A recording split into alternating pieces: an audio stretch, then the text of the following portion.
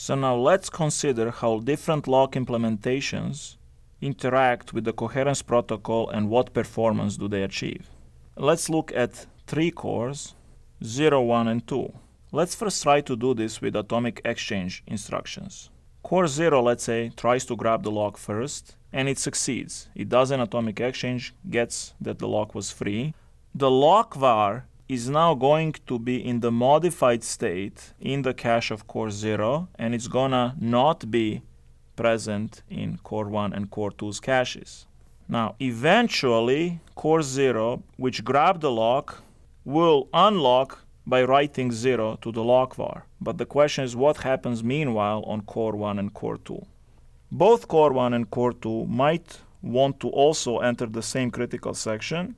Let's say core 1 tries first it does an exchange of R1 and lock var, see that lock var is 1, so it didn't grab the lock, but because there was a write to lock var, there is a transfer of lock var into this cache where it's now modified, and now lock var is invalid in core 0's cache.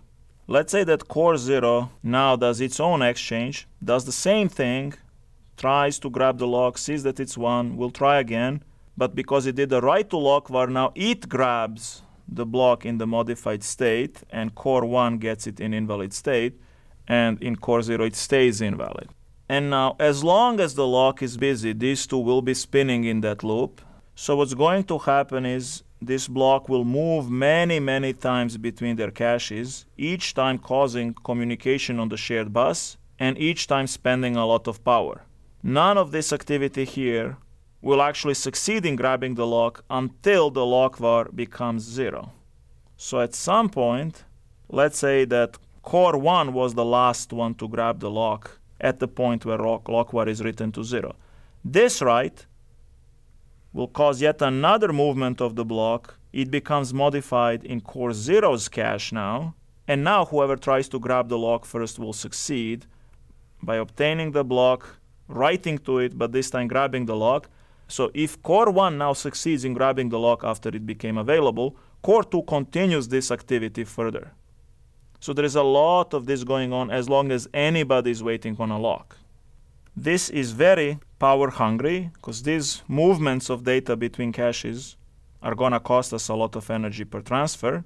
And also, this activity here keeps the interconnect between the cores busy, for example, the shared bus, so the one core that is actually doing useful work here while this is going on, if it has a cache miss, will now be slower in handling that cache miss because it has to wait for the busy bus that these two are keeping busy. So not only is it power hungry to do this, it also, by busy waiting in such an active way, we're slowing down the useful work that is the only thing that can really result in us actually getting the lock eventually.